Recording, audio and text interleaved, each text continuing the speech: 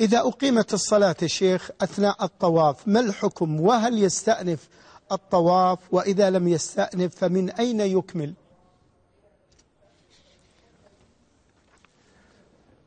إذا أقيمت وهو في الطواف يصلي يقطع الطواف ويصلي فإذا سلم الإمام فإنه يقوم ويبدأ الشوط الذي صلى فيه يبدأه من جديد ويكمل طوافه.